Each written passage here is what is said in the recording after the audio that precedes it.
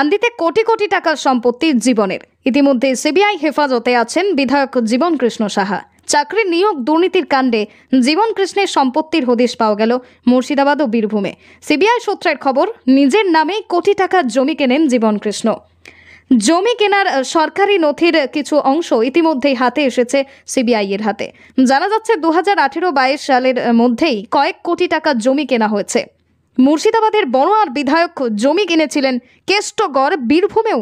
আন্দি গ্রামের নিজের এলাকায় সম্পত্তি এক কোটি টাকার বেশি। আবার বিপুল সম্পত্তি ক্রয় করেন বড়োয়ার বিধায়ক জীবন কৃষ্ণ সাহা। যা বলছেন স্থানীয় বাসিন্দারা গত এক বছরে আন্দি এলাকায় বিপুল সম্পত্তির হদিশ মিলেছে বলে সিবিআই সূত্রের খবর। এটা আপনার মাস তিনেক আগে ওই মান্ডি আছে মান্ডি চলছে। মান্নি চলছে হ্যাঁ ধান। সরকারি। জীবন সাহা এটা কত টাকায় কিনেছে? তা বলতে না। কতটা- আমরা কি করব? কতটা জায়গা আছে? ও ছাব্বিশ সাতাশ কাটা বলে তো। মানে এই এলাকায় অনেক জায়গায় ও কিনেছিল কিছুদিন তা আগে। আমরা অত খবর বলতে পারব না। এই জায়গাটা কিনেছে? এই জায়গাটা কিনেছে শোনা কথা এখন।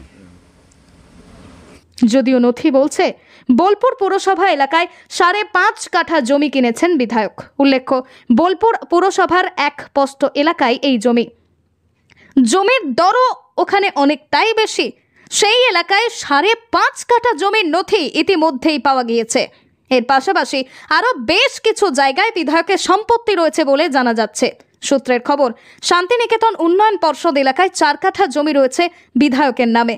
শুধু তাই নয়, সাঁথিয়া পুরসভা এলাকাতেও তার নামে সব মিলিয়ে প্রায় চব্বিশ কাঠা জমি রয়েছে বলে খবর। এই সাঁথিয়া পুরো এলাকায় তার একটি তেল কল রয়েছে বলেও সিবিআই সূত্র মারফত জানা যাচ্ছে। এছাড়াও তিনি কোল্ড স্টোরেজ এবং রাইস মিলের মালিক বলেও সিবিআই সূত্রে খবর। বীরভূম জেলাতে বিধায়কের একাধিক ফ্ল্যাটের সন্ধান পাওয়া গিয়েছে বলেও সূত্র মারফত জানা যাচ্ছে। বিধায়কের এই বিপুল অঙ্কের সম্পত্তি কীভাবে তৈরি হলো সেই বিষয়টিও নজরে রয়েছে কেন্দ্রীয় তদন্তকারী সংস্থার অফিসারদের। তবে কি নিয়ম দুর্নীতির টাকা সাদা করতেই এই বিপুল অঙ্কের সম্পত্তি তৈরি করেছিলেন? জীবন, উঠছে একাধিক প্রশ্ন। আপনি দলিল বা রেকর্ড বা যেটা বার করে রেকর্ড ওইগুলো বের করে নিয়ে আসুন তখন আমি দেখে বলে দেবো না কে কি আপনারা তার করেছে। পার্টি অফিস করছেন তার বাড়ি সেটা? এটা তো জীবন আমাদের পারমিশন আছে আমরা অনুমতি নিয়ে করেছি। আবার সেই একই প্রশ্ন একই প্রশ্ন বলছি না এর বাইরে আর কোনো কথা বেরোবে না তাহলে মুর্শিদাবাদ থেকে Koushik Adhikari report news eighteen local